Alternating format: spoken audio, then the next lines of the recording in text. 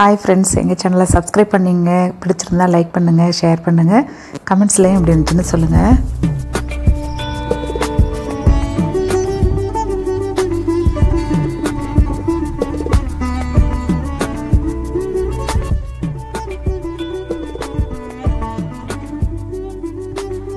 Hi friends எல்லோரும் எப்படி இருக்கீங்க? இன்றைக்கி இந்த வீடியோவில் பார்த்தீங்கன்னா நான் கிச்சனில் முழு நேரமும் சரியான வேலை மத்தியானம் சமையல் க்ளீனிங் பாத்திரம் கழுவுறது இதுதான் அந்த வீடியோவில் வரும். முழு வீடியோவும் பாருங்கள் கண்டிப்பாக உங்களுக்கு ஒரு மோட்டிவேஷனாகவும் இருக்கும். ஓகேவா ஃபுல் வீடியோ பாருங்கள் ஸ்கிப் பண்ணாமல் இப்போ வந்து லெவன் ஓ கிளாக் ஆகுது. நான் வந்து டீ போடாததுக்கு இந்த கைப்பிடி கொலை இருக்கேன் பாருங்க டீ கொலை என்ன இருக்குன்னு ஒரு நாள் வந்து நான் இங்கே சத்துமா கொஞ்சம் பொங்க விட்டேன் பாருங்க. அதே மாதிரி மருத்துவம் டீ தூளை போட்டு கொதிக்க வச்சுட்டு அடுப்பு குறைச்சி வைக்காம வாசலுக்கு போயிட்டேன். வாசலில் போய் கூட்டிகிட்டு வருவோம் ஸ்லோவில் தான் கொதிக்குதுன்னு நினச்சிட்டு போனேன் பார்த்தீங்கன்னா அப்படியே சுண்டி கருத்து. வேறு எது செஞ்சாலும் தேய்ச்சிடலாம். ஃப்ரெண்ட்ஸ் இந்த டீ தூளுக்கு கரையை மட்டும் தேய்க்க முடியல என்னால். பாருங்கள் எப்பயாச்சும் தான் அப்படி நடக்கும். எப்போ நடக்கும் நடக்கும்னு நினைக்கிறீங்க கோதுமை ரவையும் கம்பு. இது ரெண்டையும் லைட்டாக ரோஸ்ட் பண்ணிவிட்டு இந்த மாதிரி உப்புமா பண்ணேன். கலர் இப்படி இருக்கும். ஆனால் பார்த்தீங்கன்னா அவ்வளோ டேஸ்ட்டாக இருக்கும். இது வந்து இப்போ செஞ்சு சாப்பிட்றது மழை காலத்துக்கு ரொம்ப நேரம் பசி எடுக்காமல் வயிற்றுக்கு நல்ல தெம்பாக இருக்கும் நம்மளுக்கு. அதனால் காலையில் இதுதான். இட்லி மாவு இருக்குது இருந்தாலும் நான் இதை வந்து செஞ்சேன். ஃப்ரிட்ஜில் வச்செல்லாம் பிடிச்சு காட்டுறேன் பாருங்கள் டன்டா டன்டா டன்டா டேங் எப்படி இருக்குங்க? செமையாக இருக்குல்ல? இந்த எறும்பு கிட்ட இது ரவை எல்லாம் ஒளி வைக்கிறது பெரிய பாடு. ஏன்னா அப்படி பிடிக்கும் எறும்புக்கு ரவை எல்லாம் அதனால் வந்து இங்கே ஃப்ரிட்ஜுக்குள்ள வச்சுட்டேன். நான் வண்டும் பிடிக்காம இருக்கும்ல அதனால் இதை மட்டும் நான் உள்ள வைப்பேன்.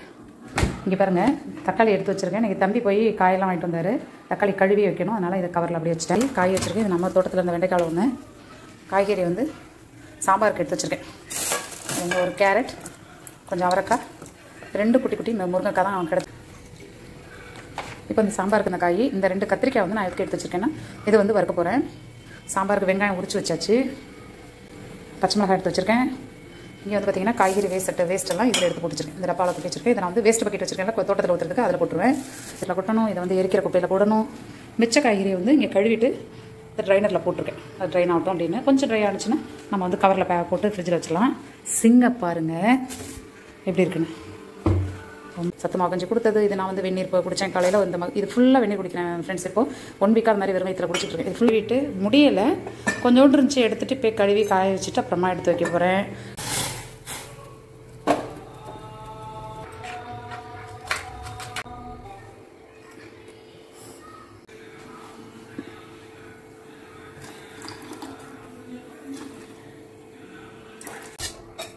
தம்பி பாத்தத்தை தட்டை கழுவிட்டு.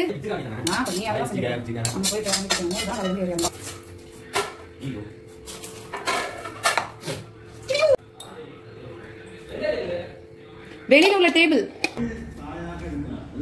பெரிய வாழைக்காய் எடுக்க போறியா சின்ன?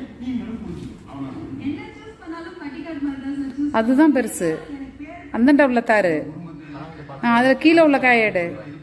அதுல எடு. ரஸ்தாளி ப காயில் வந்து வாழைக்காய் வறுக்க போகிறது நம்ம தான் எத்தனை எடுத்த? ஆ ஓகே. தண்ணியில் கழுவிடு மண்ணில் பிரட்டாதப்பா.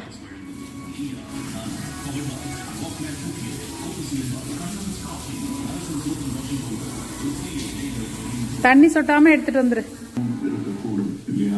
மக்கள் என்ன செய்தி? உங்களுக்கு அனுப்பி வைத்திருக்கிறார்கள் என்று பார்ப்போம். நீங்க என்ன சொல்லுங்க கண்டிப்பாக நல்லதா இருக்கும் சார். அதுக்காக தான் வந்திருக்கோம். போனாலும் சாட்டிஸ்ஃபைடா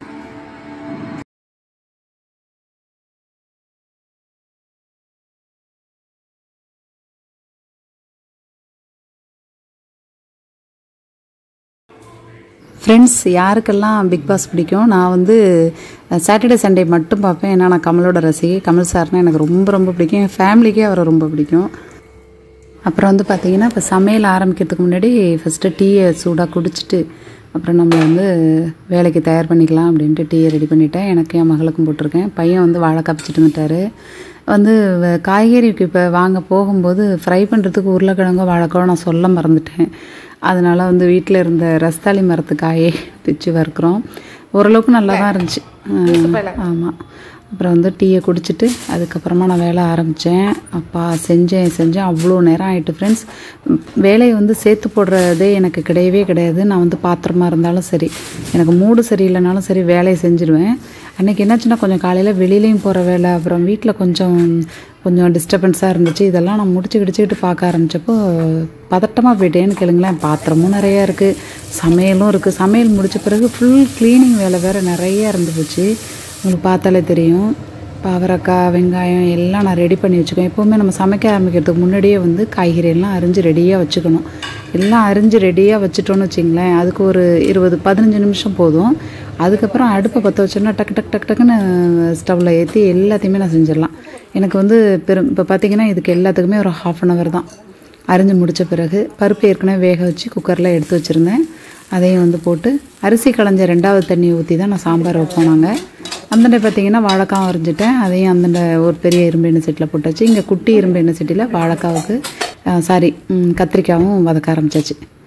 பார்த்தீங்கன்னா மூணு அடுப்புமே பிஸியாக இருந்தது. ஒரே டைமில் எல்லாமே முடிச்சிட்டேன். முடிச்சுட்டு அதுக்கப்புறமா பாத்திரம் கழுவிட்டு மேடையை கிளி க்ளீன் பண்ணிவிட்டு முடித்தப்போ தான் ரொம்ப டயர்ட் ஆகிட்டு சமைக்கும்போது கூட ஓரளவுக்கு ஓகே எனர்ஜி இருந்தது. பாத்திரம் தேய்ச்சி முடிச்சப்போ சுத்தமாக உடம்பெல்லாம் வலிக்க ஆரம்பிச்சிட்டு ஏன்னா climate வேற இப்போ சில்லுன்னு இருக்கு இல்லையா அதனால் இதுக்கு இடையில என்னன்னு சொன்னேன்னு பார்த்தீங்கன்னா சிலிண்டர் காலியாக போச்சு ஃப்ரெண்ட்ஸ் சாம்பார் கொதிக்கிற நேரம் எல்லாம் பாதி வேக்காட்டில் இருக்கும்போது சிலிண்டர் முடிஞ்சு போச்சு. அப்புறம் புது சிலிண்டர் கொண்டு வந்து கனெக்ஷன் தம்பி வச்சாரு. அதுக்கப்புறம் சாம்பாரும் சூப்பராக ரெடி ஆகிட்டு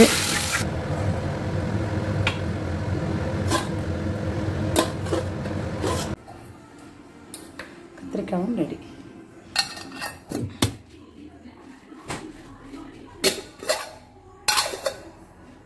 ஓகே இப்போ எனக்கு வந்து இங்கே தான் வெயிட்டிங் இதெல்லாம் நான் க்ளீன் பண்ண போகிறேன் டக்கு டக்கு டக்கு டக்குன்னு க்ளீன் பண்ணுவோம்.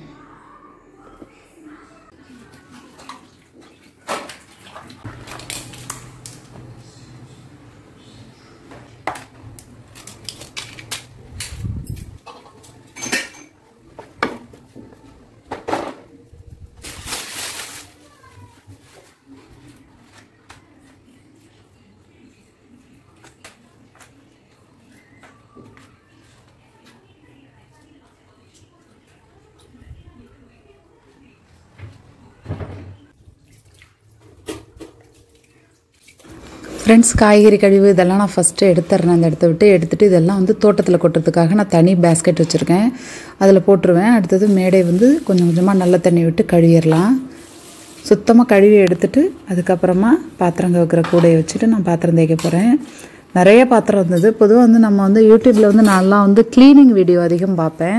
ஃப்ரெண்ட்ஸ் நீங்கள்லாம் யார் யார் அது பார்க்க பிடிக்கும் பார்ப்பீங்க அப்படின்னு சொல்லுங்கள் என்கிட்ட கமெண்ட்ஸில் எனக்கு வந்து இந்த க்ளீனிங் கிச்சன் க்ளீனிங் இந்த மாதிரி விஷயங்கள்லாம் பார்க்குறது ரொம்ப ரொம்ப பிடிக்கும். அதுவும் பாத்திரம் கழுவுறது ரொம்ப பிடிக்கும். அதில் என்ன விஷயம்னா நம்ம தேய்க்கிறத விட இன்னொருத்தங்க க்ளீன் பண்ணுறது இதெல்லாம் பார்க்கும்போது கண்டிப்பாக எல்லாருக்குமே அது பிடிக்குது. நான் வந்து எப்படின்னா எனக்கு இந்த மோட்டிவேஷன் வீடியோலாம் நிறையா பார்ப்பேன் ஃப்ரெண்ட்ஸ் அது பார்க்கும்போது நம்மளுக்கு பார்த்திங்கன்னா நம்மளுக்கு வீட்டில் தேக்கி வச்சுருக்க வேலை சில சமயம் அதெல்லாம் அப்படியே போட்டு வச்சுருப்போம். அன்றைக்கி செய்யலாம் நாளைக்கு செய்யலாம்னு. அது வந்து நம்ம இந்த மாதிரி வீடியோஸ் பார்க்கும்போது கண்டிப்பாக நல்ல ஒரு எனர்ஜி கிடைக்கும். நம்மளுக்கு ஒரு நல்ல மூடு வரும். இந்த பக்கம் சாதம் வெந்துட்டு நான் அதையும் வடிக்க போகிறேன் கிட்டத்தட்ட மணி பார்த்திங்கன்னா ஒரு மணி ஆயிடுச்சு. எனக்கு பயங்கர பசி.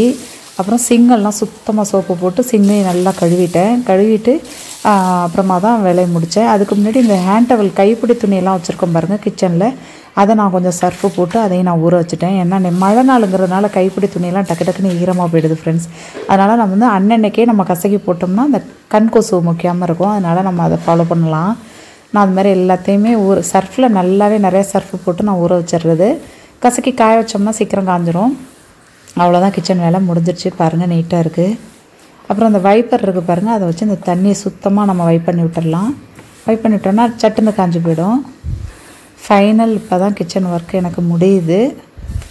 இதுக்கப்புறமா பயங்கர பசி நேராக சாப்பாடு தான். இலையெல்லாம் ரெடியாக இருக்குது வீட்டிலே ரெண்டு நாள் மூணு ஏடு இலை இருந்துச்சு. நாங்கள் அதை போட்டு டைனிங் டேபிளில் உட்காந்து சாப்பிட்டோம்னா. ஓகே ஃப்ரெண்ட்ஸ் இந்த வீடியோ உங்களுக்கெல்லாம் கண்டிப்பாக பிடிச்சிருக்குன்னு நினைக்கிறேன். உங்கள் மனசுக்கு கொஞ்சம் எனர்ஜியாகவும் இருந்திருக்கும். முழு வீடியோவும் பார்த்த ஃப்ரெண்ட்ஸுக்கு ரொம்ப நன்றி. இதே போல் என்னோடய சேனலை தொடர்ந்து சப்போர்ட் பண்ணுங்கள் புதுசாக பார்க்குறீங்கன்னா சப்ஸ்கிரைப் பண்ண மறந்துடாதீங்க. நான் பாத்திரம் தேய்ச்சது இவரை சேர்த்து வச்சு தேய்ச்சதே கிடையாது. அப்பப்போ கழுவிட்டே இருக்கும் அது மழை நாளுங்கிறதுனால ரொம்ப வைக்கிறது கிடையாது. ஏன்னா சில்ல சில்லுன்னு இருக்குது தண்ணி.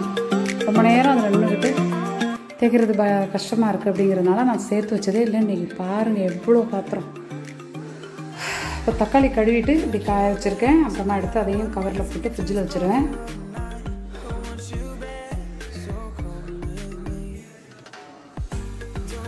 சாம்பார் ரசம் திறந்துருக்கு மூடி வைக்கணும்.